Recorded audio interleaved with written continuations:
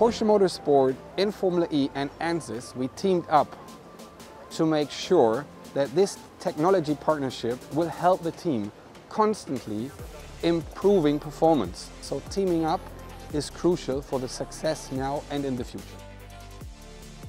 What makes Formula E so special is that we now have here the first electric racing series which is pushing boundaries on the technology side. We have an environment where a serious part of the car is the same for everyone. So we are focusing on the one key bit of technology that has to be developed there, which is the electrical powertrain.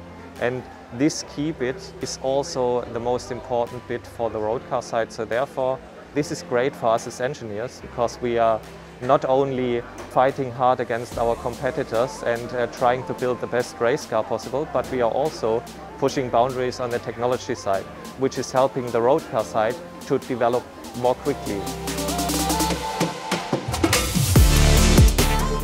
Motorsport is always something like a laboratory for what we see on the road cars.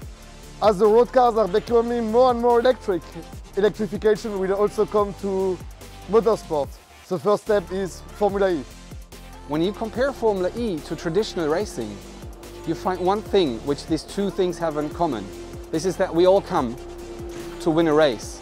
But the surroundings of the race, the setup of the race, everything on this one is completely different. Because we need to constantly measure and understand the energy level we have and make sure that in the end of the race we have enough energy to attack whoever is in front or defend whoever is attacking us from behind. The partnership with ANSYS is important for us because it delivers a possibility that we now have a simulation platform that is involving all the different components and allow us to optimize the whole system at once. Everything we do virtually and also simulation-wise is very important for us. And testing nowadays is quite limited, so we rely a lot on our simulations and the development we're seeing uh, over the years is huge and to be part of the future is great.